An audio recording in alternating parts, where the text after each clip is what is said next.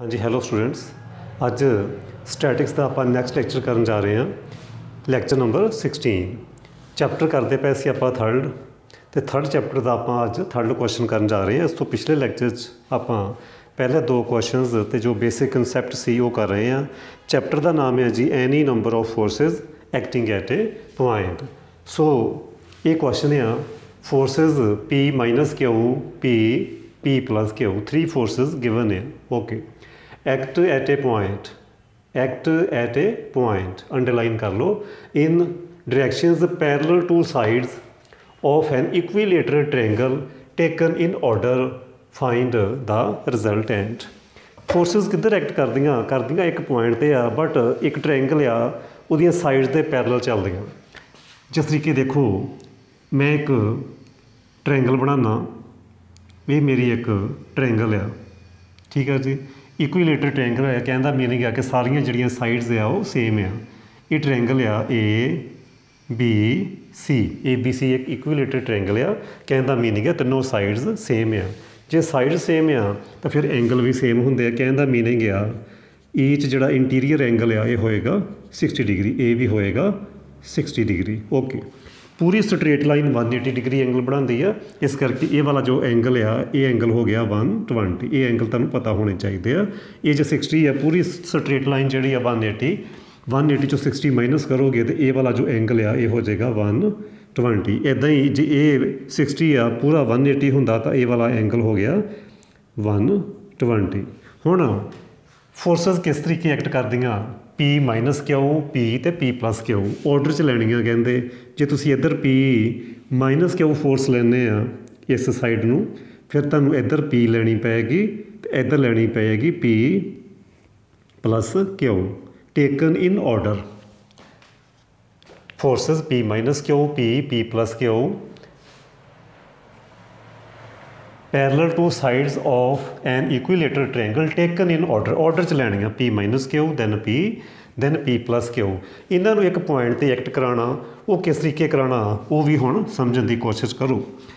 ਆਹ ਦੇਖੋ ਸਪੋਜ਼ ਕਰੋ ਇਹ k ਹੋ ਗਈ, ਇੱਕ ਫੋਰਸ ਮੈਂ ਇੱਧਰ ਬਣਾ ਦੇਣਾ ਇੱਕ ਫੋਰਸ ਮੈਂ ਇੱਧਰ ਬਣਾ ਦੇਣਾ ਬੜੇ ਹੀ ਧਿਆਨ ਨਾਲ ਸਮਝੋਗੇ। ਦੇਖੋ, ਇੱਕ ਫੋਰਸ ਤੇ ਐਕਟ ਕਰਾਣੀਆਂ ਸਾਰੀਆਂ ਫੋਰਸ ਸਪੋਜ਼ ਕਰੋ ਉਹ ਵਾਲਾ ਪੁਆਇੰਟ ਉਹ ਆ, ਉਹ ਵਾਲਾ ਪੁਆਇੰਟ ਉਹ ਆ ਸਪੋਜ਼ ਕਰੋ। ਓਕੇ p q ਇਸ ਡਾਇਰੈਕਸ਼ਨ ਨੂੰ ਜਾ ਰਹੀ ਹੈ? ਕਹਿਣ ਦਾ ਮੀਨਿੰਗ ਆ, p q ਫੋਰਸ ਐਕਟ ਕਰਦੀ ਆ? ਇਸ ਲਾਈਨ ਦੇ ਅਲੋਂਗ ਓਕੇ ਇਧਰ ਨੂੰ ਪੀ ਫੋਰਸ ਲੱਗਦੀ ਪਈ ਆ। ਕਹਿਣ ਦਾ ਮੀਨਿੰਗ ਆ, ਇਧਰ ਸਾਈਡ ਹੋ ਗਈ।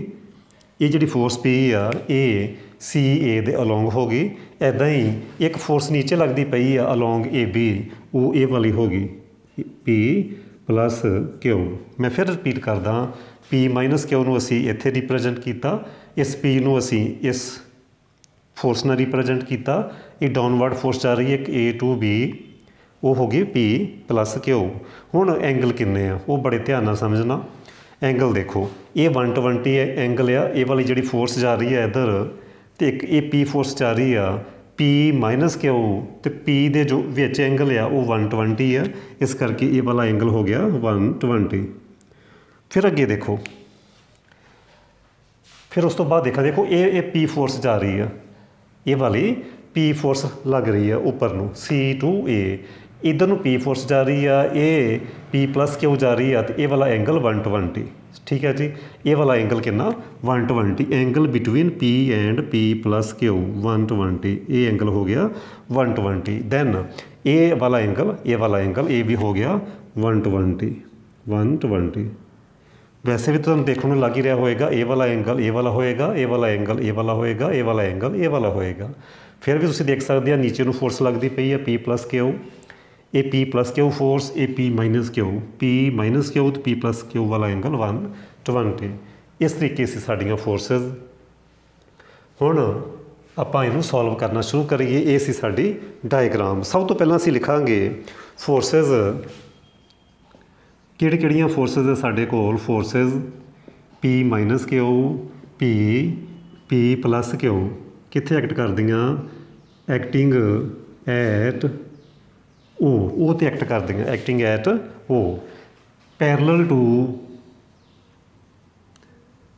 parallel to sides parallel to sides of sides ਕਿਹੜੇ ਕਿਹੜੀਆਂ ਸਾਈਡਸ ਕਿਹੜੇ ਕਿਹੜੇ ਪੈਰਲਲ ਹੈ side BC then CA then AB of an equilateral triangle ABC ਠੀਕ ਹੈ ਜੀ, ਇਹਨਾਂ ਡਾਇਰੈਕਸ਼ਨ ਦੇ ਅਲੋਂਗ ਫੋਰਸ ਲੱਗਦੀਆਂ, ਉਹਨਾਂ ਦੇ ਪੈਰਲਲ BC ਦੇ ਪੈਰਲਲ ਇਹ ਸਾਈਡ ਹੋ ਗਈ CA ਦੇ ਅਲੋਂਗ ਇਹ ਹੋ ਗਈ ਪੈਰਲਲ ਇਹਦੇ ਅਲੋਂਗ ਇਹ ਪੈਰਲਲ ਹੋ ਗਈ, ਤੇ ਇੱਕ ਪੁਆਇੰਟ ਤੇ ਅਸੀਂ ਐਕਟ ਕਰਾਤੀਆਂ। ਹੁਣ ਇਹਨਾਂ ਦਾ ਅਸੀਂ ਰਿਜ਼ਲਟੈਂਟ ਫਾਈਂਡ ਕਰਨਾ, ਤੇ ਅਸੀਂ ਸਪੋਜ਼ ਕਰ ਲੈਣਾ, ਸਭ ਤੋਂ ਪਹਿਲਾਂ ਅਸੀਂ ਸਪੋਜ਼ ਕਰਾਂਗੇ ਟੇਕ axis as shown. Take axis as shown. ਦੇਖੋ, ਆਪਾਂ ਸ਼ੋ ਕਰ ਦਈਏ ਐਕਸਿਸ ਇਹਨੂੰ ਅਸੀਂ ਐਕਸ ਐਕਸਿਸ ਲਵਾਂਗੇ। ਉਹ ਐਕਸ ਇਹਨੂੰ ਅਸੀਂ ਐਕਸ ਐਕਸਿਸ ਲੈ ਲੈਣਾ ਉਹ ਐਕਸ ਨੂੰ। ਕਹਿੰਦਾ ਮੀਨਿੰਗ ਹੈ line of action of force P minus Q ਉਹਨੂੰ ਅਸੀਂ ਐਕਸ ਐਕਸਿਸ ਲਵਾਂਗੇ। ਤੇ ਇਹਦੇ ਜਿਹੜੀ ਪਰਪੈਂਡੀਕੂਲਰ ਲਾਈਨ ਹੈ ਉਹਨੂੰ ਅਸੀਂ ਵਾਈ ਐਕਸਿਸ ਲਵਾਂਗੇ। ਓਕੇ ਇਹ ਸਾਡੀ ਹੋ ਗਈ ਐਕਸ ਐਕਸਿਸ ਇਹ ਹੋ ਗਈ ਐਕਸ ਐਕਸਿਸ ਇਹਨੂੰ ਅਸੀਂ ਐਕਸ ਐਕਸਿਸ ਸਪੋਜ਼ ਕਰ ਲਿਆ ਓਕੇ ਉਸ ਤੋਂ ਬਾਅਦ ਐਂਗਲ ਲਿਖਾਂਗੇ ਕਿੰਨੇ ਕਿੰਨੇ ਬਣਾਉਂਦੀਆਂ ਪਈਆਂ forces so forces first force ਹੈ p minus Q then force ਆ p ਦੈਨ ਫੋਰਸ ਆ p ਪਲੱਸ ਤਿੰਨ ਫੋਰਸਸ ਗਿਵਨ ਆ। ਫੋਰਸਸ ਇਹ ਐਂਗਲ ਕਿੰਨੇ ਬਣਾਉਂਦੀਆਂ ਪਈਆਂ x ਐਕਸਿਸ ਦੇ ਨਾਲ? ਮੇਕਿੰਗ ਐਂਗਲਸ ਐਂਗਲ ਦੱਸਾਂਗੇ। P minus Q x axis ਨਾਲ ਜ਼ੀਰੋ ਐਂਗਲ ਬਣਾਉਂਦੀ ਪਈ ਆ 0 ਡਿਗਰੀ ਦੈਨ p ਫੋਰਸ ਕਿੰਨਾ ਐਂਗਲ ਬਣਾਉਂਦੀ ਪਈ x ਐਕਸ ਦੇ ਨਾਲ? ਇਹ p ਫੋਰਸ ਦੇਖੋ 120 ਐਂਗਲ ਬਣਾਉਂਦੀ ਪਈ x ਐਕਸ ਦੇ ਨਾਲ 120 then p plus Q force ਕਿੰਨਾ ਬਣਾਉਂਦੀ ਦੇਖੋ ਇਹ ਵਾਲੀ ਫੋਰਸ p ਪਲੱਸ ਕਿਊ ਆ। ਇਹ ਅਸੀਂ ਸਾਰਾ ਦੇਖਣਾ ਕਿ x ਐਕਸ ਨਾਲ ਕਿੰਨਾ ਐਂਗਲ ਬਣਦਾ ਪਿਆ। 120 ਪਲੱਸ 120 ਹੋ ਗਏ 240 so 240 with x axis with x axis so x x ਦੇ ਨਾਲ p minus Q force zero angle ਬਣਾਉਂਦੀ ਪਈ। P force 120 angle x axis ਦੇ ਨਾਲ, ਇਹ ਵਾਲੀ ਫੋਰਸ ਜੋ p ਪਲੱਸ q ਫੋਰਸ ਆ, ਇਹ ਸਾਰਾ 120 ਪਲੱਸ 120 ਕਿੰਨੇ ਹੋ ਗਏ? 240 240 ਐਂਗਲ ਬਣਾਉਂਦੀ ਪਈ x ਐਕਸਿਸ ਦੇ ਨਾਲ। ਇੱਕ ਚੀਜ਼ ਹੋਰ ਲਿਖਾਂਗੇ। ਲੈਟ r ਸਪੋਜ਼ ਕਰ ਲਓ resultant let r be resultant of forces making angle theta angle theta with x axis ਮੰਨ ਲਿਆ ਕਿ ਇਹਨਾਂ ਤਿੰਨਾਂ ਫੋਰਸਸ ਦਾ ਰਿਜ਼ਲਟ ਰਿਜ਼ਲਟੈਂਟ ਆ ਰਿਹਾ, ਤਾਂ ਉਹ x ਐਕਸਿਸ ਨਾ ਥੀਟਾ ਐਂਗਲ ਬਣਾਉਂਦਾ ਹੈ, ਅਸੀਂ ਸਪੋਜ਼ ਕਰ ਲਿਆ। ਹੁਣ ਜੋ ਸਾਡਾ ਨੈਕਸਟ ਵਰਕ ਆ, ਉਹਦੇ 'ਚ ਅਸੀਂ ਰਿਜ਼ੋਲਟ ਪਾਰਟ ਲਵਾਂਗੇ। ਅਗਲਾ ਵਰਕ ਕੀ ਆ? ਹੁਣ ਅਸੀਂ ਰਿਜ਼ੋਲਟ ਪਾਰਟ ਲਵਾਂਗੇ। ਥਿਓਰਮ ਪੜ੍ਹੀ ਸੀ ਜਦੋਂ ਅਸੀਂ ਚੈਪਟਰ ਸਟਾਰਟ ਕੀਤਾ ਸੀ ਕਿ ਇੱਕ ਬੰਨੇ ਰਿਜ਼ਲਟੈਂਟ ਦੇ ਰਿਜ਼ੋਲਟ ਪਾਰਟ ਲਿਖਾਂਗੇ, ਦੂਜੇ ਬੰਨੇ ਅਸੀਂ ਫੋਰਸ ਦੇ ਰਿਜ਼ੋਲਟ ਪਾਰਟ ਲਿਖਾਂਗੇ। ਉਹ ਸੇਮ ਹੋਣਾ ਚਾਹੀਦਾ। ਓਕੇ ਤੋਂ ਹੁਣ ਆਪਾਂ ਲੈਣ ਜਾ ਰਹੇ ਹਾਂ resolved part taking resolved part resolved parts ਪਹਿਲਾਂ ਆਪਾਂ ਲਾਵਾਂਗੇ along x axis ਦੇ ਅਲੋਂਗ ਓਕੇ ਰਿਜ਼ਲਟੈਂਟ ਦਾ ਰਿਜ਼ੋਲਵਡ ਪਾਰਟ ਆ ਗਿਆ ਜੀ, r cos theta x axis ਦੇ ਲੌਂਗ ਲੈ ਰਹੇ ਹਾਂ। ਮੰਨ ਲਓ ਕਿਤੇ ਵੀ ਹੋ ਸਕਦੀ ਹੈ ਇੱਥੇ ਅਸੀਂ ਇਦਾਂ ਸ਼ੋ ਕਰ ਸਕਦੇ ਹਾਂ। ਮੰਨ ਲਓ, ਇੱਥੇ ਫੋਰਸ ਆ ਰਿਹਾ। ਮੈਨੂੰ ਪਤਾ ਨਹੀਂ ਕਿੱਥੇ ਆ। ਐਂਗਲ ਥੀਟਾ ਬਣਦਾ। ਸ਼ੋ ਕਰਨ ਦੀ ਜ਼ਰੂਰਤ ਨਹੀਂ। ਆਪਾਂ ਲਿਖ ਦਿੱਤਾ ਇਹਨੇ ਸਫੀਸ਼ੀਐਂਟ ਆ। ਠੀਕ ਹੈ ਜੀ? ਤੋ, ਸਾਡਾ ਜਿਹੜਾ ਐਂਗਲ ਆਪਾਂ ਥੀਟਾ ਸਪੋਜ਼ ਕੀਤਾ, ਤਾਂ ਉਹਦਾ ਰਿਜ਼ੋਲਵਡ ਪਾਰਟ ਹੋ ਗਿਆ r cos theta so first force ਹੈ p q p q angle ਕਿੰਨਾ ਬਣਾਉਂਦੀ ਹੈ 0 ਸੋ ਉਹ ਆ ਜਾਏਗਾ cos 0 ਪਲੱਸ ਸੈਕੰਡ ਫੋਰਸ ਹੈ p p cos 120 plus p plus q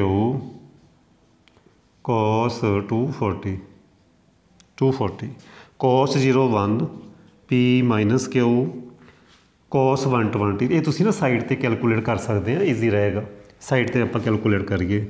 cos 120 can be written as cos of 180 minus 60 ਤਾਂ ਟ੍ਰਿਗਨੋਮੈਟਰੀ ਵਧੀਆ ਹੋਣੀ ਚਾਹੀਦੀ ਆ। 180 minus 60 ਲਿਖ ਸਕਦੇ ਆ। ਸੈਕੰਡ ਕੁਆਡਰੈਂਟ ਚ ਆ ਸੈਕੰਡ ਕੁਆਡਰੈਂਟ ਚ cos ਨੈਗੇਟਿਵ ਹੁੰਦਾ ਸੋ cos 60 ਆ ਗਿਆ। cos 60 ਦੀ ਵੈਲਿਊ ਹੋ ਗਈ 1 ਬਾਈ 2 ਸੋ ਮਾਈਨਸ 1 ਬਾਈ 2 ਆ ਗਈ। ਉਸ ਤੋਂ ਬਾਅਦ cos 240 240 can be written as cos of 180 plus 60 ਕਹਿੰਦਾ ਮੀਨਿੰਗ ਆ ਥਰਡ ਕੁਆਡਰੈਂਟ ਚ ਵੀ cos ਕੀ ਹੁੰਦਾ ਨੈਗੇਟਿਵ ਹੁੰਦਾ। ਠੀਕ ਹੈ ਜੀ ਸੋ ਮਾਈਨਸ cos 60 ਆ ਜਾਏਗਾ। ਸੋ ਇਹ ਵੀ ਵੈਲਿਊ ਆ ਗਈ minus 1 by 2 so plus p into 1 by 2 plus p plus q into ਇੱਥੇ ਵੀ ਮਾਈਨਸ 1 ਬਾਈ 2 ਤੇ ਇੱਥੇ ਵੀ ਮਾਈਨਸ 1 ਬਾਈ 2 ਇਹਨੂੰ ਹੁਣ ਤੁਸੀਂ ਸਿੰਪਲੀਫਾਈ ਕਰ ਸਕਦੇ ਆ।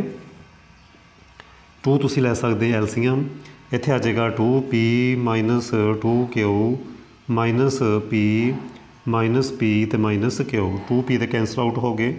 ਸੋ ਆਨਸਰ ਆ ਗਿਆ, ਇਸ ਰਿਜ਼ਲਟ ਪਾਰਟ ਦਾ minus 3q over 2 so r cos theta ਦੀ ਵੈਲਿਊ ਆ ਗਈ, r cos ਥੀਟਾ ਦੀ ਵੈਲਿਊ ਆ ਗਈ, ਮਾਈਨਸ 3q ਓਵਰ 2 ਹੁਣ ਬਿਲਕੁਲ ਇਦਾਂ ਹੀ ਅਸੀਂ along y axis resolve part ਲਾਵਾਂਗੇ। ਹੁਣ ਮੈਨੂੰ ਰਫ ਕਰਨਾ ਪੈਣਾ, ਕਿਉਂਕਿ ਮੇਰੇ ਕੋਲ ਸਪੇਸ ਦੀ ਕਮੀ ਆ। ਤੁਸੀਂ ਇਹ ਦੇਖ ਸਕਦੇ ਕਿ r cos ਥੀਟਾ -3q 2 ਆਇਆ।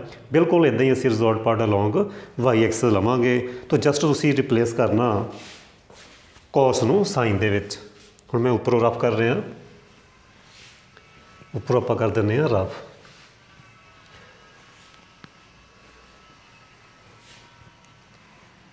ਹਾਂਜੀ, ਹੁਣ ਇਦਾਂ ਹੀ again taking resolved part along y axis. ਕੀ ਆ ਜਾਏਗਾ? R sin ਥੀਟਾ ਹੋ ਗਿਆ ਰਿਜ਼ਲਟੈਂਟ ਦਾ resolved part p minus q first force ਸੀ ਉਹ ਐਂਗਲ ਬਣਾਉਂਦੀ ਸੀ 0 sin ਆਫ 0 ਸੈਕੰਡ ਫੋਰਸ ਆ p ਉਹ ਐਂਗਲ ਬਣਾਉਂਦੀ 120 ਦੈਨ ਨੈਕਸਟ ਫੋਰਸ ਹੈ ਜੀ p ਪਲੱਸ q ਉਹ ਐਂਗਲ ਕਿੰਨਾ ਬਣਾਉਂਦੀ ਸੀ? sine 240 sine of 240 ਇਹਨਾਂ ਦੀ ਤੁਸੀਂ ਵੈਲਿਊ ਸਾਈਡ ਤੇ ਕੈਲਕੂਲੇਟ ਕਰ ਸਕਦੇ ਆ।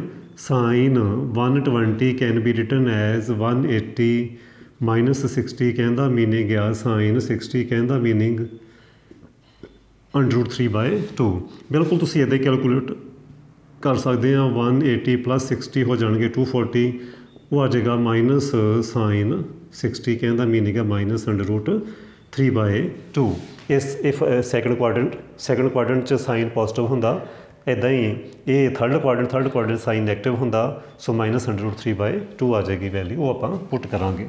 ਸੋ ਸਾਈਨ 0 0 ਹੋ ਗਿਆ plus p into under root 3 by 2 p plus q sine 240 minus under root 3 by 2 ਫਿਰ ਤੁਸੀਂ 2 ਐਲਸੀਐਮ ਲੈ ਸਕਦੇ ਆ। ਕਹਿੰਦਾ ਮੀਨਿੰਗ ਗਿਆ ਤੁਸੀਂ ਅੰਡਰ ਰੂਟ 3 ਬਾਈ 2 ਕਰ ਲਓ ਕਾਮਨ ਇੱਥੇ ਰਹਿ ਗਿਆ ਤੁਹਾਡੇ ਕੋਲ p ਮਾਈਨਸ p ਤੇ minus q p cancel out ਹੋ ਗਿਆ ਤਾਂ ਤੁਹਾਡੇ ਕੋਲ ਬਚਿਆ minus under root 3 by 2 q ਇਹ ਤੁਹਾਡੇ ਕੋਲ ਆ ਗਈ r sin ਥੀਟਾ ਦੀ value okay r sin theta ਵੀ ਮਿਲ ਗਿਆ ਤੇ ਤੁਹਾਨੂੰ r cos ਥੀਟਾ ਵੀ ਮਿਲ ਗਿਆ। ਇਹਨਾਂ ਤੋਂ ਅਸੀਂ ਰਿਜ਼ਲਟੈਂਟ ਫਾਈਂਡ ਕਰ ਸਕਦੇ ਹਾਂ ਆਰ ਦੀ ਵੈਲਿਊ ਫਾਈਂਡ ਕਰ ਸਕਦੇ ਹਾਂ ਤੇ ਇਥੋਂ ਅਸੀਂ ਥੀਟਾ ਵੀ ਫਾਈਂਡ ਕਰ ਸਕਦੇ ਹਾਂ। ਉਹੀ ਅਸੀਂ ਦੋਵੇਂ ਹੁਣ ਵਰਕ ਜਿਹੜੇ ਆ ਕੰਮ ਕਰਾਂਗੇ। ਹਾਂਜੀ। ਸਭ ਤੋਂ ਪਹਿਲਾਂ ਇਹ ਜੀ ਮੇਰੀ ਇਕੁਏਸ਼ਨ ਨੰਬਰ ਫਸਟ ਸੀ। ਇਹ ਮੇਰੀ ਸੀ equation number second square and add first and second ਉਹਨਾਂ ਤੁਸੀਂ ਸਕੁਅਰ ਐਂਡ ਐਡ ਕਰੋਗੇ, ਕੀ ਆ ਜਾਏਗਾ? r square cos square theta ਇਦਾਂ ਹੀ ਆ ਜਾਏਗਾ r square sin square theta r square cos square r square sin square ਇਹਦਾ ਸਕੁਅਰ ਕਰੋਗੇ, ਆ ਜਾਏਗਾ 9 over 4 q square plus 3 over 4 q square ਇਹ ਹੋ ਜਾਣਗੇ 12 ਓਵਰ 4 q ਸਕੁਅਰ ਕਹਿੰਦਾ ਮੀਨਿੰਗ ਆ 3 q ਸਕੁਅਰ ਤੇ ਇਧਰ ਸਿੰਪਲੀਫਾਈ ਕਰੋਗੇ ਤਾਂ ਤੁਹਾਡੇ ਕੋਲ ਆ ਗਿਆ r ਸਕੁਅਰ 1 ਕਹਿੰਦਾ ਮੀਨਿੰਗ r ਸਕੁਅਰ ਦੀ ਵੈਲਿਊ ਆ ਗਈ। ਸੋ r ਆ ਜਾਏਗਾ ਅੰਡਰ ਰੂਟ 3 ਆਫ q. ਇਹ ਰਿਜ਼ਲਟੈਂਟ ਆ ਗਿਆ। ਰਿਜ਼ਲਟੈਂਟ ਦੀ ਵੈਲਿਊ ਤਾਂ ਮਿਲ ਗਈ। ਮੈਗਨੀਚਿਊਡ ਤਾਂ ਮਿਲ ਗਿਆ। ਹੁਣ ਅਸੀਂ ਇਹਦੀ ਡਾਇਰੈਕਸ਼ਨ ਫਾਈਂਡ ਕਰਾਂਗੇ। ਥੀਟਾ ਫਾਈਂਡ ਕਰਾਂਗੇ ਕਿ ਐਂਗਲ ਕਿੰਨਾ ਬਣਦਾ ਪਿਆ। ਉਹ ਅਸੀਂ ਹੁਣ ਫਾਈਂਡ ਕਰਾਂਗੇ। ਇਹ ਮੈਂ ਕਰ ਦਿੰਦਾ ਰਫ ਉਮੀਦ ਕਰਦਾ ਕਿ ਤੁਹਾਨੂੰ ਸਮਝ ਆ ਗਈ ਹੋਏਗੀ। ਜੇ ਸਮਝ ਆ ਗਈ ਹੈ ਤਾਂ ਲਾਈਕ ਵਾਲਾ ਬਟਨ ਪ੍ਰੈਸ ਕਰੋਗੇ ਤੁਸੀਂ। ਤੇ ਨਾਲ ਦੀ ਨਾਲ ਜੇ ਚੈਨਲ ਸਬਸਕ੍ਰਾਈਬ ਨਹੀਂ ਕੀਤਾ ਤਾਂ ਚੈਨਲ ਸਬਸਕ੍ਰਾਈਬ ਵੀ ਕਰ ਦਿਓ, ਤਾਂ ਜੋ ਤੁਹਾਨੂੰ ਨੈਕਸਟ ਜਿਹੜੀਆਂ ਅਗਲੀਆਂ ਵੀਡੀਓਜ਼ ਆ, ਉਹ ਉਹ ਤੁਹਾਨੂੰ ਮਿਲਦੀਆਂ ਰਹਿਣ ਤੇ ਨਾਲ ਦੀ ਨਾਲ ਤੁਸੀਂ ਬਾਕੀ ਸਟੂਡੈਂਟ ਨੂੰ ਸ਼ੇਅਰ ਵੀ ਕਰੋ ਤਾਂ ਜੋ ਵੱਧ ਤੋਂ ਵੱਧ ਸਟੂਡੈਂਟ ਦਾ ਫਾਇਦਾ ਹੋ ਸਕੇ। ਹਾਂਜੀ। ਹੁਣ ਹੁਣ ਇੱਕ ਗੱਲ ਤੁਸੀਂ ਨੋਟ ਕਰਨੀ ਆ। ਅਸੀਂ ਐਂਗਲ ਫਾਈਂਡ ਕਰਨਾ। ਉਹਦੇ ਲਈ ਜੇ ਤਾਂ r cos ਥੀਟਾ ਤੇ r sin ਥੀਟਾ ਦੋਵੇਂ ਪੋਜ਼ਿਟਿਵ ਹੋਣ, ਤੁਸੀਂ ਡਾਇਰੈਕਟ ਹੀ ਡਿਵਾਈਡ ਕਰਕੇ ਥੀਟਾ ਫਾਈਂਡ ਕਰ ਸਕਦੇ ਹੋ। ਓਕੇ ਬਟ ਜੇ ਇੱਕ ਵਾਰ ਵੀ ਕਿਸੇ ਇੱਕ 'ਚ ਵੀ ਮਾਈਨਸ ਆ ਗਈ, ਭਾਵੇਂ ਦੋਵਾਂ 'ਚ ਮਾਈਨਸ ਆ ਗਈ, ਜੇ ਤੁਹਾਨੂੰ ਮਾਈਨਸ ਦਿਖਾਈ ਦੇ ਰਹੀ ਆ, ਤੇ ਪਹਿਲਾਂ ਤੁਸੀਂ ਉਹਨਾਂ ਦੇ ਕੁਆਡਰੈਂਟ ਚੈੱਕ ਕਰਨੇ ਆ, ਕਿਸ ਕੁਆਡਰੈਂਟ 'ਚ ਵੈਲਿਊ ਲਾਈ ਕਰਦੀ ਪਈ ਹੈ, ਇਹ ਤੁਸੀਂ ਕੰਮ ਜ਼ਰੂਰ ਕਰਨਾ। ਹਾਂਜੀ, ਸਭ ਤੋਂ ਪਹਿਲਾਂ ਮੈਂ ਗੱਲ ਕਰਾਂ r cos ਥੀਟਾ ਦੀ। r ਦੀ ਤਾਂ ਅਸੀਂ ਵੈਲਿਊ ਪੁੱਟ ਕਰ ਦਾਂਗੇ, ਉੱਪਰ ਆਈ ਹੋਈ ਆ। ਤੇ ਵੈਸੇ ਪੁੱਟ ਕਰਨ ਦੀ ਜ਼ਰੂਰਤ ਵੀ ਨਹੀਂ ਕਿਉਂਕਿ ਅਸੀਂ ਜਦੋਂ ਡਿਵਾਈਡ ਕਰਨਾ, ਉਹਨੇ ਕੈਂਸਲ ਹੋ ਜਾਣਾ। ਸੋ ਆਰ ਦਾ ਸਾਨੂੰ ਜ਼ਿਕਰ ਕਰਨ ਦੀ ਜ਼ਰੂਰਤ ਨਹੀਂ, ਨਾ ਸਾਨੂੰ ਟੈਨਸ਼ਨ ਲੈਣ ਦੀ ਲੋੜ ਹੈ ਕਿਉਂਕਿ ਸਾਨੂੰ ਆਰ ਦੀ ਵੈਲਿਊ ਪਤਾ। ਗੱਲ ਹੈ cos cos ਥੀਟਾ ਨੈਗੇਟਿਵ ਆ। ਠੀਕ ਹੈ ਜੀ, cos ਥੀਟਾ ਕੀ ਹੈ ਸਾਡੇ ਕੋਲ? ਨੈਗੇਟਿਵ ਜੇ cos ਥੀਟਾ ਨਾ ਨੈਗੇਟਿਵ ਹੋਵੇ, ਜੇ cos ਥੀਟਾ ਹੋਵੇ ਨੈਗੇਟਿਵ ਓਕੇ ਫੇਰ ਕੀ ਹੁੰਦਾ? ਗ- ਬੜੀ ਗੱਲ ਧਿਆਨ ਨਾਲ ਸਮਝਣੀ ਤੁਸੀਂ। ਦੈਨ ਥੀਟਾ ਲਾਈਜ਼ ਇਨ ਦੇਖੋ, ਤੁਹਾਨੂੰ ਸਾਰਿਆਂ ਨੂੰ ਪਤਾ, ਇੱਥੇ ਸਾਰੇ ਪੋਜ਼ਿਟਿਵ ਹੁੰਦੇ ਆ। ਆਲ ਟ੍ਰਿਗਨੋਮੈਟ੍ਰਿਕ ਰੇਸ਼ੋ ਪੋਜ਼ਿਟਿਵ ਹੁੰਦੀਆਂ। ਇੱਥੇ ਸਾਈਨ ਪੋਜ਼ਿਟਿਵ ਹੁੰਦਾ, ਇੱਥੇ ਟੈਨ ਪੋਜ਼ਿਟਿਵ ਹੁੰਦਾ ਤੇ ਇੱਥੇ cos ਪੋਜ਼ਿਟਿਵ ਹੁੰਦਾ, ਇਹ ਤੁਹਾਨੂੰ ਸਾਰਿਆਂ ਨੂੰ ਪਤਾ। ਹੁਣ cos ਥੀਟਾ ਨੈਗੇਟਿਵ ਹੈ ਨੈਗੇਟਿਵ ਕਿੱਥੇ ਕਿੱਥੇ ਹੋਏਗਾ? ਇੱਥੇ ਪੋਜ਼ਿਟਿਵ ਹੈ ਇੱਥੇ ਪੋਜ਼ਿਟਿਵ ਹੈ ਸੋ ਸੈਕੰਡ ਤੇ ਫੋਰਥ ਵਿੱਚ ਨੈਗੇਟਿਵ ਹੋਏਗਾ। ਸੋ ਥੀਟਾ ਲਾਈਜ਼ ਇਨ ਜੇ ਨੈਗੇਟਿਵ ਹੈ ਕਿੱਥੇ ਕਿੱਥੇ ਹੋ ਸਕਦਾ? ਪੋਸੀਬਲ ਹੋ ਸਕਦਾ ਆਈਦਰ ਇਨ ਸੈਕੰਡ ਔਰ ਜਾਂ ਹੋ ਸਕਦਾ ਥਰਡ ਵਿੱਚ। ਹੋਏਗਾ ਤੇ ਇੱਕ ਥਾਂ ਤੇ ਔਰ ਪਾਵਾਂਗੇ ਐਂਡ ਨਹੀਂ ਪਾਣਾ ਓਕੇ ਸਾਈਨ ਥੀਟਾ ਵੀ ਨੈਗੇਟਿਵ ਹੈ sine theta is negative sine theta we negative ਆ, ਦੇਖੋ। ਆਰ ਦੀ ਵੈਲਿਊ ਪੁੱਟ ਕਰ ਦਾਂਗੇ, ਉਹਦਾ ਕੋਈ ਫ਼ਰਕ ਨਹੀਂ ਪੈਣਾ। ਪੁੱਟ ਕਰ ਦੋਗੇ ਬਟ ਸਾਈਨ ਥੀਟਾ ਦੀ ਵੈਲਿਊ ਵੀ ਨੈਗੇਟਿਵ ਆ ਰਹੀ ਹੈ ਜੇ ਸਾਈਨ ਥੀਟਾ ਦੀ ਵੈਲਿਊ ਨੈਗੇਟਿਵ ਆ ਰਹੀ ਆ, ਤਾਂ ਕਹਿਣ ਦਾ ਮੀਨਿੰਗ ਇਹ ਹੋਇਆ, ਹੁਣ ਸਾਈਨ ਕਿੱਥੇ ਕਿੱਥੇ ਨੈਗੇਟਿਵ ਹੁੰਦਾ? ਇੱਥੇ ਸਾਈਨ ਪੋਜ਼ਿਟਿਵ ਆ, ਇੱਥੇ ਸਾਰੀਆਂ ਪੋਜ਼ਿਟਿਵ ਇੱਥੇ ਸਾਈਨ ਪੋਜ਼ਿਟਿਵ ਆ। ਸੋ ਨੈਗੇਟਿਵ ਹੋਏਗਾ ਥਰਡ ਤੇ ਫੋਰਥ ਵਿੱਚ। Lies in either in third or in fourth ਦੋਵਾਂ ਨੂੰ ਜੇ ਤੁਸੀਂ ਕੰਬਾਈਨ ਕਰਦੇ ਆ, ਦੇਖੋ ਥਰਡ ਕਾਮਨ ਆ। ਜੇ cos ਦੇਖਦੇ ਆ, ਤਾਂ ਵੀ ਥੀਟਾ ਥਰਡ ਵਿੱਚ ਲਾਈ ਕਰ ਰਿਹਾ। ਜੇ ਤੁਸੀਂ ਸਾਈਨ ਦੇਖਦੇ ਆ, ਤਾਂ ਵੀ ਥੀਟਾ ਥਰਡ ਵਿੱਚ ਆ ਰਿਹਾ। ਸੋ ਕਹਿਣ ਦਾ ਮੀਨਿੰਗ ਇਹ ਹੋਇਆ ਹੈਂਸ ਮੈਨੂੰ ਪਤਾ ਚੱਲ ਗਿਆ ਕਿ theta lies in third quadrant so third quadrant ਵਿੱਚ ਲਾਈ ਕਰੇਗਾ। ਇਸ ਤਰੀਕੇ ਤੁਸੀਂ ਪਹਿਲੇ ਚੈੱਕ ਕਰ ਲੈਣਾ। ਜੇ ਦੋਵੇਂ ਪੋਜ਼ਿਟਿਵ ਹੈ, ਫਿਰ ਡਾਇਰੈਕਟਲੀ ਡਿਵਾਈਡ ਕਰ ਦਿਓ ਜੇ ਇੱਕ ਵੀ ਨੈਗੇਟਿਵ ਆ ਜਾਵੇ, ਫਿਰ ਪਹਿਲੇ ਚੈੱਕ ਕਰਨਾ ਕਿ ਕਿਹੜੇ ਕੁਆਡਰੈਂਟ 'ਚ ਵੈਲਿਊ ਲਾਈ ਕਰਦੀ ਆ। ਜਿਨ੍ਹਾਂ 'ਚ ਕਾਮਨ ਆ ਰਿਹਾ, ਉਹ ਉਹਦੇ 'ਚ, ਉਸ ਕੁਆਡਰੈਂਟ 'ਚ ਵੈਲਿਊ ਲਾਈ ਕਰੇਗੀ। ਹੁਣ ਅਸੀਂ ਡਿਵਾਈਡ ਕਰਾਂਗੇ। ਨਾਓ ਡਿਵਾਈਡ ਹਾਂਜੀ divide 2 by first 2 by first ਇਸ ਤਰੀਕੇ ਅਸੀਂ ਫਾਈਂਡ ਕਰਾਂਗੇ। ਇਧਰ ਸੀ r sin ਥੀਟਾ ਤੇ ਫਸਟ ਵਿੱਚ ਸੀ r cos ਥੀਟਾ ਹਾਂਜੀ, r sin ਥੀਟਾ ਸੀ √3/2 ਕਿਉ? ਮਾਈਨਸ √3/2 ਕਿਉ? ਉਧਰ ਸੀ ਮਾਈਨਸ 3/2 ਕਿਉ? ਮਾਈਨਸ ਨਾਲ ਮਾਈਨਸ ਕੈਂਸਲ ਆਊਟ ਹੋ ਗਈ। ਕਿਉ ਨਾ ਕਿਉ ਕੈਂਸਲ ਹੋ ਗਿਆ? 2 ਨਾਲ 2 ਕੈਂਸਲ ਆਊਟ ਹੋ ਗਿਆ ਤੇ ਬਚਿਆ ਕੀ? ਇਧਰ r ਨਾਲ r ਕੈਂਸਲ ਆਊਟ ਹੋ ਗਈ, ਇਧਰ ਬਚਿਆ tan ਥੀਟਾ ਤਾਂ ਉਧਰ ਬਚੇਗਾ ਤੁਹਾਡੇ ਕੋਲ ਅੰਡਰੂਟ 3 ਓਵਰ ਥਰੀ ਕਹਿਣ ਦਾ ਮੀਨਿੰਗ ਆ ਟੈਨ ਥੀਟਾ ਆ ਗਿਆ ਸਾਡੇ ਕੋਲ 1 over under root 3 1 over under root 3 ਜੇ ਤੁਸੀਂ ਅੰਡਰੂਟ 3 ਨਾਲ ਮਲਟੀਪਲਾਈ ਕਰੋ ਅੰਡਰੂਟ 3 ਦੇ ਨਾਲ ਡਿਵਾਈਡ ਕਰਦੇ ਆ ਤਾਂ ਉਹ ਆਏਗਾ ਤੁਹਾਡੇ ਕੋਲ 1 ਬਾਈ ਅੰਡਰੂਟ 3 1 ਬਾਈ ਅੰਡਰੂਟ 3 ਬਿਲਕੁਲ ਠੀਕ ਹੈ ਜੀ, ਇਹ ਆ ਗਿਆ ਸਾਡੇ ਕੋਲ। ਕਿਸ ਤਰੀਕੇ, ਜੇ ਤੁਸੀਂ ਇਸ ਤਰੀਕੇ ਲਿਖੋ, ਇਸ ਤਰੀਕੇ ਮਲਟੀਪਲਾਈ ਕਰ ਦੋਗੇ, ਇਹ 3 ਦੇ ਨਾਲ ਹੀ ਕੈਂਸਲ ਹੋ ਜਾਏਗਾ 1 ਬਾਈ 3 ਆ ਜਾਏਗਾ। ਓਕੇ ਹੁਣ ਇਹ ਵੈਲਿਊ ਕਿਹਦੀ ਆ? ਇਹ ਹੋ ਗਈ tan ਆਫ ਐਂਗਲ 30 ਦੀ। ਇਹ tan 30 ਦੀ ਵੈਲਿਊ ਆ। tan 30 ਮੀਨਸ ਜੋ 30 ਹੀ ਲਿਖ ਸਕਦੇ ਆ, tan tan 30 ਡਿਗਰੀ ਦੀ ਵੈਲਿਊ ਆ। ਬਟ ਇਹ ਤਾਂ ਆ ਗਿਆ ਜੀ ਫਸਟ ਕੁਆਡਰੈਂਟ 'ਚ। ਪਰ ਸਾਨੂੰ ਚਾਹੀਦਾ ਥੀਟਾ ਥਰਡ ਕੁਆਡਰੈਂਟ 'ਚ। ਤੇ ਕੀ ਕਰਨਾ ਪਏਗਾ ਸਾਨੂੰ? ਥਰਡ ਵਿੱਚ ਲੈ ਕੇ ਜਾਣਾ ਪਏਗਾ। ਉਹਦੇ ਲਈ ਕੀ ਕਰੋਗੇ? 180 ਪਲੱਸ 30 ਲਿਖੋਗੇ। ਸੋ tan ਜੇ ਆਪਾਂ ਕੈਂਸਲ ਕਰ ਦਈਏ ਤਾਂ ਸਾਡੇ ਕੋਲ 180 ਪਲੱਸ 30 ਕਿੰਨਾ ਹੋ ਗਿਆ? 210 ਸੋ 210 ਐਂਗਲ ਸਾਡਾ ਆਨਸਰ ਆ ਗਿਆ ਕਿ ਰਿਜ਼ਲਟੈਂਟ ਇੰਨਾ ਐਂਗਲ ਬਣਾ ਰਿਹਾ, ਕਿਹੜੀ ਫੋਰਸ ਦੇ ਨਾਲ? P Q ਫੋਰਸ ਦੇ ਨਾਲ। ਜੇ ਤੁਸੀਂ ਡਾਇਗਰਾਮ ਦੇਖੋਗੇ, ਅਸੀਂ ਐਕਸੈਸਿਸ ਕਿਹਨੂੰ ਲਿਆ? ਆਰ ਅਸੀਂ ਰਿਜ਼ਲਟੈਂਟ ਲਿਆ ਸੀ ਥੀਟਾ ਐਂਗਲ ਲਿਆ ਸੀ ਬਟ ਕਿਹਦੇ ਨਾਲ? ਐਕਸ ਐਕਸ ਦੇ ਨਾਲ। ਐਕਸ ਐਕਸਿਸ ਕੌਣ ਸੀ? ਤੁਸੀਂ ਡਾਇਗਰਾਮ ਦੇਖੋਗੇ, P ਮਾਈਨਸ Q ਵਾਲੀ ਫੋਰਸ ਦਾ ਜੋ ਲਾਈਨ ਆਫ ਐਕਸ਼ਨ ਹੈ, ਉਹਨੂੰ ਅਸੀਂ x ਐਕਸਿਸ ਮੰਨਿਆ ਸੋ ਥੀਟਾ ਸਾਡਾ 210 ਆ ਗਿਆ। ਤੁਸੀਂ ਕੁਝ ਕੁਐਸਚਨ ਕਰੋਗੇ, ਤੁਹਾਡੇ ਆਨਸਰ ਚੇਂਜ ਹੋ ਸਕਦੇ ਆ। ਉਹਦਾ ਕਾਰਨ ਇਹ ਆ ਕਿ ਤੁਸੀਂ, ਤੁਹਾਡੀ ਮਰਜ਼ੀ ਆ ਕਿ ਤੁਸੀਂ ਕਿਸ ਫੋਰਸ ਨੂੰ x ਐਕਸਿਸ ਸਪੋਜ਼ ਕਰਨਾ? ਕਿਸ ਫੋਰਸ ਨੂੰ ਤੁਸੀਂ x ਸਪੋਜ਼ ਕਰਨਾ, ਉਸ ਹਿਸਾਬ ਨਾਲ ਤੁਹਾਡਾ ਆਨਸਰ ਆਏਗਾ। ਸੋ ਇਸ ਤਰੀਕੇ ਆਨਸਰ ਵੇਰੀ ਵੀ ਕਰ ਸਕਦਾ। ਰਿਜ਼ਲਟੈਂਟ ਸੇਮ ਆਏਗਾ। ਇਹ ਐਂਗਲ ਵੇਰੀ ਕਰ ਸਕਦਾ। ਕਿਉਂ ਕਰ ਸਕਦਾ? ਕਿਉਂਕਿ ਇਹ ਤੁਹਾਡੇ ਤੇ ਡਿਪੈਂਡ ਕਰਦਾ ਕਿ ਕਿਸ ਫੋਰਸ ਨੂੰ ਤੁਸੀਂ x ਐਕਸਿਸ ਸਪੋਜ਼ ਕੀਤਾ ਹੋਇਆ। ਓਕੇ ਹਾਂਜੀ। ਇੱਕ ਚੀਜ਼ ਮੈਂ ਦੱਸਣਾ ਚਾਹੁੰਦਾ ਸੀ ਕਿ ਇਹ ਕਿਸ ਤਰੀਕੇ ਅਸੀਂ ਥਰਡ ਕੁਆਡਰੈਂਟ 'ਚ ਲੈ ਕੇ ਗਏ। ਉਹ ਤੁਸੀਂ ਇੱਕ ਵਾਰ ਕਲੀਅਰ ਕਰ ਲਓ। ਫਸਟ ਕੁਆਡਰੈਂਟ 'ਚ ਅਸੀਂ ਥੀਟਾ ਹੀ ਲਿਖਦੇ ਹਾਂ। ਜੇ ਸੈਕੰਡ ਕੁਆਡਰੈਂਟ 'ਚ ਲੈ ਕੇ ਜਾਣਾ ਤਾਂ ਤੁਹਾਨੂੰ ਕੀ ਕਰਨਾ ਪਏਗਾ? 180 ਮਾਈਨਸ ਥੀਟਾ ਕਰਨਾ ਪਏਗਾ। ਜੇ ਥਰਡ ਕੁਆਡਰੈਂਟ 'ਚ ਲੈ ਕੇ ਜਾਣਾ ਤਾਂ 180 ਪਲੱਸ ਥੀਟਾ ਕਰਨਾ ਪਏਗਾ। ਜੇ ਫੋਰਥ 'ਚ ਲੈ ਕੇ ਜਾਣਾ ਤਾਂ ਤੁਹਾਨੂੰ 360 ਮਾਈਨਸ ਥੀਟਾ ਕਰਨਾ ਪਏਗਾ ਜਾਂ ਇਕੱਲਾ ਮਾਈਨਸ ਥੀਟਾ ਇਸ ਤਰੀਕੇ ਅਸੀਂ ਇਹ ਕੈਲਕੂਲੇਟ ਕਰਦੇ ਆ ਦੇਖੋ tan 30 ਸੀ, ਤਾਂ ਉਹਦੇ ਵਿੱਚ ਤੁਸੀਂ ਕਿਉਂਕਿ ਥਰਡ 'ਚ ਲੈ ਕੇ ਜਾਣਾ, ਸੋ 180 ਐਡ ਕਰਤੇ ਕਿਉਂਕਿ ਸਾਡਾ ਜਿਹੜਾ ਥੀਟਾ ਹੋਣਾ ਚਾਹੀਦਾ ਸੀ ਥਰਡ ਵਿੱਚ ਹੋਣਾ ਚਾਹੀਦਾ। ਸੋ 210 ਸਾਡਾ ਆਨਸਰ ਆਇਆ। ਹੁਣ ਅਸੀਂ ਕਰਾਂਗੇ next question so resultant is under 3 by 2 Q and making angle 210 ਮੈਂ ਲਿਖ ਦਿੰਦਾ ਇੱਥੇ। So resultant resultant is equal to ਕਿੰਨਾ ਆ ਗਿਆ? Under root 3 Q making angle making angle 210 with the force P minus Q. ਜਾਂ ਇਦਾਂ ਲਿਖ ਸਕਦੇ ਆ ਟੂ ਦਾ ਫੋਰਸ ਕਿਹੜੀ ਫੋਰਸ ਜਿਹਦਾ ਲਾਈਨ ਆਫ ਇਦਾਂ ਲਿਖ ਸਕਦੇ ਸੀ 210 with the line of action of force P minus Q ਜਾਂ ਇਸ ਤਰੀਕੇ ਵੀ ਤੁਸੀਂ ਮੈਂਸ਼ਨ ਕਰ ਸਕਦੇ ਆ। ਹੁਣ ਅਸੀਂ ਕਰਨ ਜਾ ਰਹੇ ਹਾਂ ਜੀ ਨੈਕਸਟ ਕੁਐਸਚਨ ਇਸ ਟਾਈਪ ਦਾ ਇੱਕ ਹੋਰ ਕੁਐਸਚਨ ਕਰਾਉਣਾ ਤਾਂ ਜੋ ਤੁਹਾਨੂੰ ਚੰਗੀ ਤਰ੍ਹਾਂ ਕਲੀਅਰ ਹੋ ਜਾਵੇ। ਇਸ ਕੁਐਸਚਨ 'ਚ ਇਕੁਇਲੇਟਰ ਟ੍ਰਾਇੰਗਲ ਸੀ 60 60 60 ਐਂਗਲ ਹੋ ਗਏ।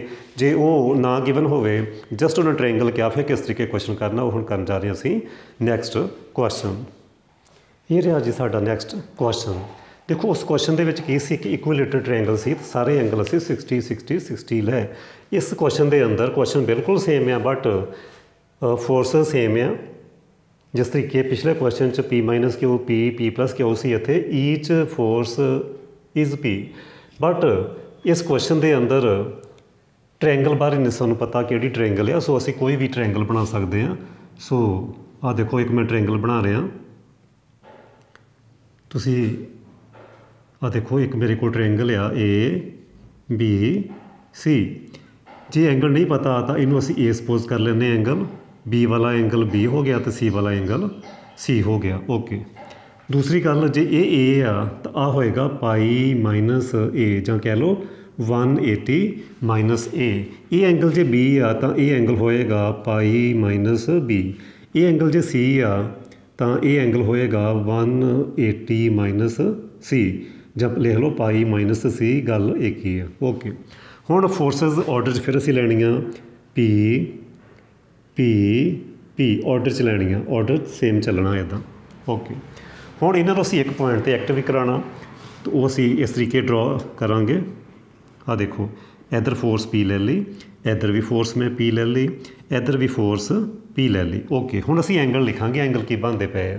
ਕੀ ਕਰਨਾ ਅਸੀਂ? ਇਹਨੂੰ ਅਸੀਂ x ਐਕਸਿਸ ਸਪੋਜ਼ ਕਰ ਲੈਣਾ। ਇਹ ਸਾਡਾ ਕੀ ਆ? ਇਹ x ਐਕਸਿਸ ਆ। ਉਹ ਇਹ ਜਿਹੜੀ ਫੋਰਸ P ਆ ਉਹ x, ਇਹ ਸਾਡੀ ਹੋ ਗਈ x ਐਕਸਿਸ ਇਹਦੇ ਜੋ ਪਰਪੈਂਡੀਕੂਲਰ ਲਾਈਨ ਹੋਏਗੀ, ਉਹ ਹੋਏਗੀ y ਐਕਸਿਸ ਠੀਕ ਹੈ ਜੀ? ਇਹਨੂੰ ਅਸੀਂ ਇਦਾਂ ਜੇ ਕਰਨਾ ਹੋਵੇ ਤਾਂ ਸ਼ੋ ਕਰ ਸਕਦੇ ਆ। ਇਹ ਸਾਡੀ ਹੋ ਗਈ y ਐਕਸਿਸ ਓਕੇ ਹੁਣ ਜੇ ਅਸੀਂ ਐਂਗਲ ਦੇਖਣੇ ਹੁਣ ਐਂਗਲ ਕੀ ਬਣਦੇ ਪਏ ਆ, ਬੜੇ ਧਿਆਨ ਨਾਲ ਸਮਝਿਓ। ਇਹ ਹੋ ਗਿਆ ਪਾਈ ਮਾਈਨਸ ਸੀ ਕਹਿੰਦਾ ਮੀਨਿੰਗ ਆ ਆ ਐਂਗਲ ਸਾਰਾ ਹੋ ਗਿਆ ਪਾਈ ਮਾਈਨਸ ਸੀ ਇਹ ਐਂਗਲ ਪਾਈ ਮਾਈਨਸ ਏ ਆ, ਕਹਿੰਦਾ ਮੀਨਿੰਗ ਇਹ ਐਂਗਲ ਹੋ ਗਿਆ ਪਾਈ ਮਾਈਨਸ ਏ ਇਹ ਪਾਈ ਮਾਈਨਸ ਬੀ ਆ ਤੇ ਐਂਗਲ ਹੋ ਗਿਆ ਪਾਈ ਮਾਈਨਸ ਬੀ ਤੁਸੀਂ ਤਿੰਨਾਂ ਨੂੰ ਐਡ ਕਰੋਗੇ ਤੁਹਾਡਾ ਆਨਸਰ ਆਏਗਾ 360 2 ਪਾਈ 360 2 ਪਾਈ ਤੇ ਇੱਕ ਚੀਜ਼ ਤੁਹਾਨੂੰ ਪਤਾ, ਕਿਸੇ ਵੀ ਟ੍ਰਾਇੰਗਲ ਦੇ ਜਿਹੜੇ ਇੰਟੀਰੀਅਰ ਤਿੰਨ ਐਂਗਲਸ ਆ, ਉਹਨਾਂ ਦਾ ਸਮ 180 ਹੁੰਦਾ। ਤੇ ਕਹਿੰਦਾ ਮੀਨਿੰਗ ਹੈ ਸਾਡੇ ਕੋਲ A B C ਪਾਈ ਹੋਏਗਾ। ਪਾਈ ਮੀਨਸ 180 ਹੋਏਗਾ। ਪਾਈ ਕਹਿ ਲਓ, ਚਾਹੇ 180 ਕਹਿ ਲਓ।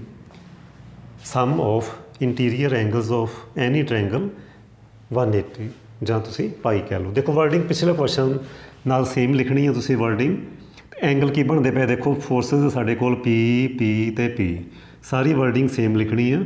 ਐਂਗਲ ਕਿੰਨੇ ਬਣਦੇ ਪਏ ਆ? ਇਹ ਜਿਹੜੀ ਫੋਰਸ ਆ, ਇਹ ਜ਼ੀਰੋ ਐਂਗਲ ਬਣਾਉਂਦੀ ਪਈ ਆ। ਠੀਕ ਹੈ ਜੀ, ਮੈਂ ਥੋੜਾ ਜਿਹਾ ਲਿਖ ਦਿੰਦਾ। ਹਾਂਜੀ। ਲਿਖੀ ਦਿੰਦੇ ਆਪਾਂ। Forces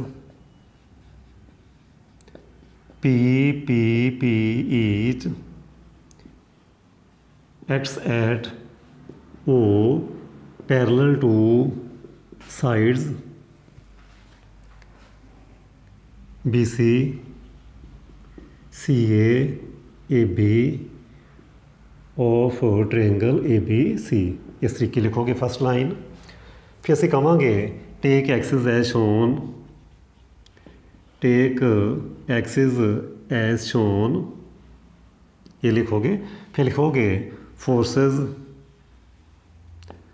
P P P making angle ਕਿੰਨੇ ਬਣਾਉਂਦੀਆਂ ਪਈਆਂ ਐਂਗਲ ਜਿਹੜੀ ਫਰਸਟ ਪੀ ਆ, ਇਹ ਬਣਾਉਂਦੀ ਪਈ ਆ 0 ਡਿਗਰੀ ਇਹ ਬਣਾਉਂਦੀ ਆ 0 ਜਿਹੜੀ ਸੈਕੰਡ ਫੋਰਸ ਆ, ਉਹ ਬਣਾਉਂਦੀ ਪਈ ਪਾਈ ਮਾਈਨਸ ਸੀ ਪਾਈ ਮਾਈਨਸ ਸੀ ਜਿਹੜੀ ਥਰਡ ਫੋਰਸ ਇਹ ਵਾਲੀ ਪੀ ਆ, ਇਹ ਟੋਟਲ ਬਣਾਉਂਦੀ ਪਈ। ਟੋਟਲ ਕਰਕੇ ਦੇਖੋ ਕਿੰਨਾ ਆਣਾ ਟੋਟਲ ਕਿੰਨਾ ਬਣ ਗਿਆ? Pi minus A plus pi minus C ਇੰਨਾ ਐਂਗਲ ਬਣਾਉਂਦੀ ਪਈ ਹੈ ਕਹਿੰਦਾ ਵੀ ਨਹੀਂ ਗਿਆ। 2 ਪਾਈ ਮਾਈਨਸ ਏ ਪਲੱਸ ਸੀ ਜਿਹਨੂੰ ਥੋੜਾ ਸਿੰਪਲੀਫਾਈ ਕਰੋ, ਮੈਂ ਸਾਈਡ ਤੇ ਸਮਝਾਉਣ ਦੀ ਕੋਸ਼ਿਸ਼ ਕਰਦਾ ਤੁਹਾਨੂੰ।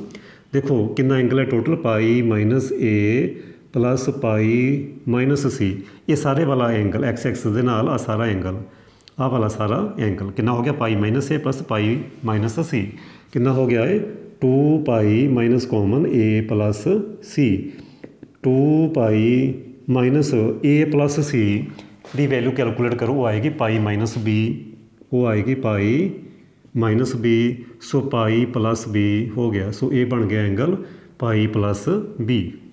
ਇਸ ਤਰੀਕੇ ਅਸੀਂ ਕੈਲਕੂਲੇਟ ਕਰਨਾ ਪਾਈ ਪਲੱਸ ਬੀ। ਇਸ ਤਰੀਕੇ ਸਾਡੇ ਕੋਲ ਇਹ ਵਾਲਾ ਐਂਗਲ ਆਇਆ। Okay, pi plus B. So then let r be resultant let r be resultant making angle ਇਸ ਤਰੀਕੇ ਤੁਸੀਂ ਵਰਡਿੰਗ ਜਿਹੜੀ ਆ ਉਹ ਲਿਖੋਗੇ angle theta with x axis ਇਸ ਤਰੀਕੇ ਤੁਸੀਂ ਵਰਡਿੰਗ ਲਿਖੋਗੇ। ਸੋ ਪਹਿਲੀ ਫੋਰਸ 0 ਬਣਾਉਂਦੀ, ਫਿਰ ਪਾਈ ਮਾਈਨਸ ਸੀ ਫਿਰ ਪਾਈ ਪਲੱਸ b ਹੁਣ ਆਪਾਂ ਲਵਾਂਗੇ resolved part taking resolved part taking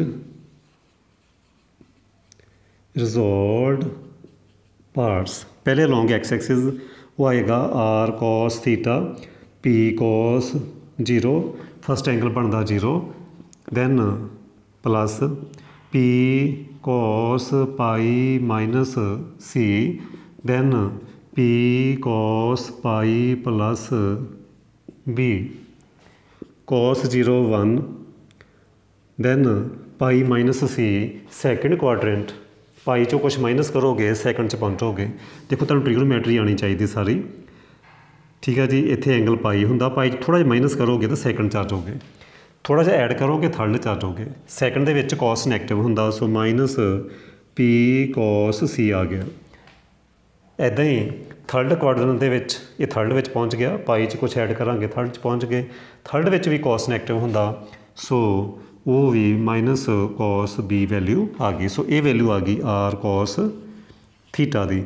ਹੁਣ ਅਗੇਨ ਹੁਣ taking resolved part along Y axis ਹੁਣ ਅਸੀਂ ਵਾਈ ਐਕਸਿਸ ਦੇ ਅਲੋਂਗ ਰਿਜ਼ੋਲਵਡ ਪਾਰਟ ਲਵਾਂਗੇ।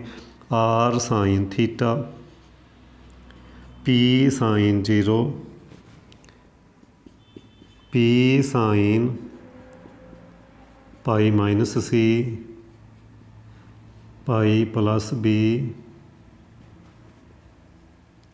sine 0 0 plus P sin pi minus c ਕਿੰਨਾ ਹੁੰਦਾ? ਸੈਕੰਡ ਕੁਆਡਰੈਂਟ ਚ sine positive so sine c second quadrant ਚ ਆ ਵੀ ਇਹ। ਪਾਈ ਚੋਂ ਕੁਝ ਮਾਈਨਸ ਕਰੋਗੇ ਸੈਕੰਡ 'ਚ ਪਹੁੰਚੋਗੇ ਸੈਕੰਡ 'ਚ ਸਾਈਨ ਪੋਜ਼ਿਟਿਵ ਹੁੰਦਾ। ਇਹ ਥਰਡ 'ਚ ਜਾਏਗਾ ਥਰਡ 'ਚ ਨੈਗੇਟਿਵ ਹੁੰਦਾ। So minus P sine B ਜੇ ਤੁਹਾਨੂੰ ਟ੍ਰਿਗਨੋਮੈਟਰੀ ਨਾ ਆਂਦੀ ਹੋਵੇ, ਉਹ ਵੀ ਮੇਰੀ ਪਲੇਲਿਸਟ ਬਣੀ ਹੋਈ ਆ। ਪੂਰੇ ਚੈਪਟਰ ਦੀ ਤੁਸੀਂ ਉਸ ਪਲੇਲਿਸਟ ਤੇ ਪਹੁੰਚੋ। ਮੇਰਾ ਚੈਨਲ ਖੋਲ ਕੇ ਤੁਸੀਂ ਪਲੇਲਿਸਟ ਦੇਖੋਗੇ, ਪੂਰੀ ਟ੍ਰਿਗਨੋਮੈਟਰੀ ਤੁਹਾਨੂੰ ਪਲੱਸ 1 ਦੀ ਕੰਪਲੀਟ ਮਿਲੇਗੀ, ਉਹ ਵੀ ਤੁਸੀਂ ਸਮਝ ਸਕਦੇ ਹਾਂ ਹੁਣ ਇਹ ਆ ਗਿਆ ਜੀ ਸਾਡੇ ਕੋਲ r sin ਥੀਟਾ ਇਹ ਸ਼ੋ ਕਰਨਾ ਰਿਜ਼ਲਟੈਂਟ ਅਸੀਂ ਫਾਈਂਡ ਕਰਨਾ, ਤੇ ਇਹ ਸ਼ੋ ਕਰਨਾ। ਇਹਦੇ ਲਈ ਕੀ ਕਰਨਾ ਪਏਗਾ? ਸਕੁਅਰ ਐਂਡ ਐਡ ਕਰਨਾ ਪਏਗਾ। ਸੋ ਸਕੁਅਰ ਐਂਡ ਐਡ ਕਰੋਗੇ। ਮੈਂ ਉੱਪਰੋਂ ਰਫ ਕਰਕੇ ਉੱਪਰ ਕਰਦਾ ਸਕੁਅਰ ਐਂਡ ਐਡ ਉਮੀਦ ਕਰਦਾ ਕਿ ਤੁਹਾਨੂੰ ਸਮਝ ਆ ਰਹੀ ਹੋਏਗੀ। ਸਕੁਅਰ ਐਂਡ ਐਡ ਕਰਾਂਗੇ।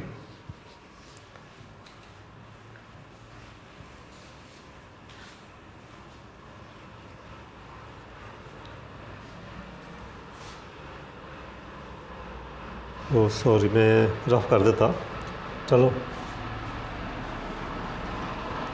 ਕੀ ਸੀ ਮੇਰੇ ਕੋਲ?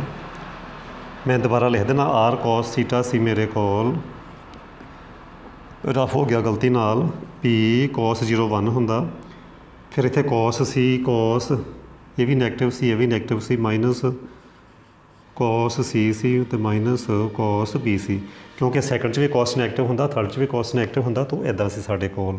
ਹੁਣ ਸਕੁਅਰ ਐਂਡ ਐਡ ਕਰੋਗੇ, ਤੁਹਾਡੇ ਕੋਲ ਆਏਗਾ r square cos square theta plus r square sin square theta okay ਇਹ ਆਏਗਾ p minus p cos c minus p cos b square plus p sin c minus p sin b ਇਹ ਤਾਂ square. ਦੇਖੋ p ਤਾਂ ਸਾਰਿਆਂ ਚ common ਆ ਰਿਹਾ ਜੀ, ਆਪਾਂ ਉਹਨੂੰ ਕਰ ਲਾਂਗੇ ਕਾਮਨ p ਕੋ ਕਰ ਲਓ ਕਾਮਨ p ਹੋ ਗਿਆ common p square.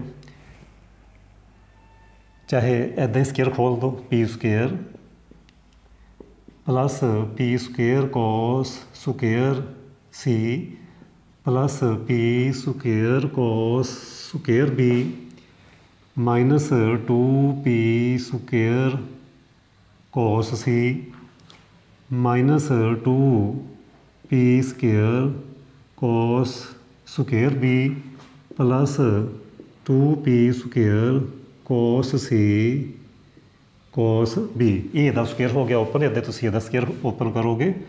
P square sin square c, p square sin square b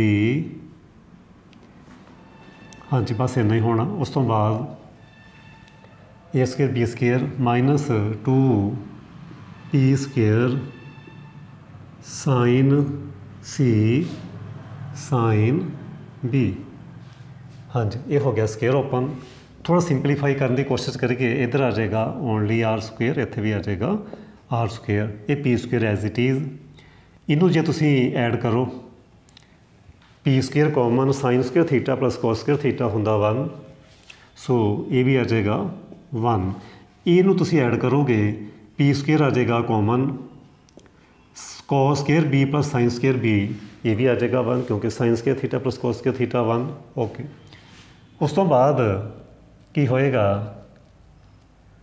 ਇਸ ਤੋਂ ਬਾਅਦ ਇਹਨਾਂ ਨੂੰ ਐਜ਼ ਇਟ ਇਜ਼ ਲਿਖਣਾ ਪੈਣਾ minus 2p square cos c, cos square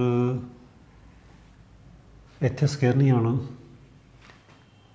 2p square cos b okay 2p square common minus 2p square common ਵਿੱਚ ਰਹਿ ਜਾਏਗਾ sin b sin c minus cos b cos c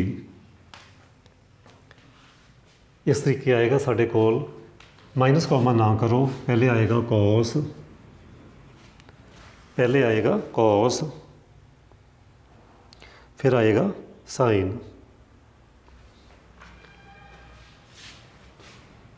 2p square common cos b cos c minus sin c sin b ਇਹ ਆ ਗਿਆ okay ਤੇ ਆ ਗਿਆ ਜੀ 3p square minus 2p square cos c minus 2p square cos square b plus 2p square ਹਾਂਜੀ, ਇਹ ਤੁਹਾਨੂੰ ਫਾਰਮੂਲਾ ਆਂਦਾ ਇਹ ਫਾਰਮੂਲਾ ਬਣ ਗਿਆ ਜੀ cos b ਪਲੱਸ c ਦਾ। cos a cos b minus sin a, sin b over ਇਹ b formula, sin a plus ਆਹ ਵਾਲਾ formula cos a plus b ਦਾ ਫਾਰਮੂਲਾ ਤੁਹਾਨੂੰ ਆਂਦਾ ਹੋਏਗਾ। cos a cos b minus sin a, sin b ਇਹ ਵਾਲਾ ਫਾਰਮੂਲਾ ਆਪਾਂ ਅਪਲਾਈ ਕੀਤਾ। ਉਸ ਤੋਂ ਬਾਅਦ p ਸਕੁਅਰ ਕਾਮਨ ਕਰ ਸਕਦੇ ਹਾਂ ਜੀ ਇੱਥੇ ਰਹਿ ਗਿਆ 3 minus 2 cos c minus 2 cos b plus 2 cos b plus c can be written as pi minus a why why because a plus b plus c is 180 or you can say pi so b plus c can be written as pi minus a and pi minus a cos pi minus a minus cos a. So p square 3 minus 2 cos c minus 2 cos b minus 2 cos a. Now r ਕੀ ਆ ਜਾਏਗਾ? Under root under root 3 minus 2 cos a ਪਹਿਲੇ ਲਿਖ ਲਓ minus 2 cos b minus 2 cos c ਸੋ ਇਹ ਸਾਡਾ answer ਆ ਗਿਆ, ਇਹੀ ਅਸੀਂ ਵੈਰੀਫਾਈ ਕਰਨਾ ਸੀ। ਸੋ ਕੁਐਸਚਨਸ ਆਲਮੋਸਟ ਸਾਰੇ ਸੇਮ ਆ। ਪਿਛਲੇ ਕੁਐਸਚਨ ਦੇ ਅੰਦਰ ਇਕੁਇਲੇਟਰ ਟ੍ਰਾਇੰਗਲ ਹੋਣ ਦੇ ਨਾਲ ਐਂਗਲ ਸਾਰੇ 60 ਸੀ, ਇੱਥੇ ਨਹੀਂ ਸੀ ਗਿਵਨ ਤੇ ਇੱਥੇ ਅਸੀਂ ਐਂਗਲ A, B, C ਦੇ ਨਾਲ ਹੀ ਡਿਨੋਟ ਕਰ ਲਿਆ। ਤੁਸੀਂ ਅਲਫਾ ਬੀਟਾ ਗਾਮਾ ਤੋਂ ਮਰਜ਼ੀ ਲੈ ਸਕਦੇ ਹੋ, ਕੋਈ ਪ੍ਰੋਬਲਮ ਨਹੀਂ। ਬਟ ਜੋ ਵੀ ਲਓਗੇ, ਉਹਨਾਂ ਦਾ ਸਮ ਪਾਈ ਹੋਣਾ ਚਾਹੀਦਾ 180 ਹੋਣਾ ਚਾਹੀਦਾ। ਸੋ ਇਸ ਤਰੀਕੇ ਅਸੀਂ ਕੁਐਸਚਨਸ ਕਰਨੇ ਆ ਰਿਜ਼ਲਟ ਐਂਡ ਫਾਈਂਡ ਕਰ ਲਿਆ। ਇਹੀ ਅਸੀਂ ਸ਼ੋ ਕਰਨਾ ਸੀ। ਸੋ ਅਗਲੇ ਲੈਕਚਰ ਦੇ ਅੰਦਰ ਅਸੀਂ ਬਾਕੀ ਬਚੇ ਹੋਏ ਕੁਐਸਚਨ ਕਰਾਂਗੇ। ਸੋ ਵੀਡੀਓ ਨੂੰ ਲਾਈਕ ਕਰਨਾ ਨਾ ਭੁੱਲਿਓ। ਜੇ ਸਬਸਕ੍ਰਾਈਬ ਨਹੀਂ ਕੀਤਾ ਚੈਨਲ ਤਾਂ ਰਿਕਵੈਸਟ ਹੈ ਤੁਸੀਂ। ਚੈਨਲ ਸਬਸਕ੍ਰਾਈਬ ਵੀ ਕਰ ਲਓ। ਸ਼ੇਅਰ ਵੀ ਕਰੋ ਵੀਡੀਓ ਤਾਂ ਜੋ ਵੱਧ ਤੋਂ ਵੱਧ ਜਿਹੜੇ ਸਟੂਡੈਂਟ ਆ ਇਸ ਲੈਕਚਰ ਦਾ ਫਾਇਦਾ ਉਠਾ ਸਕਣ। Thank you